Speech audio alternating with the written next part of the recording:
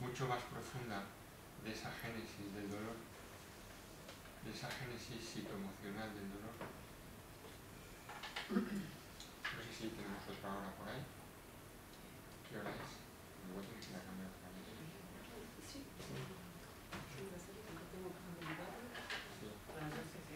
sí. Vamos a parar.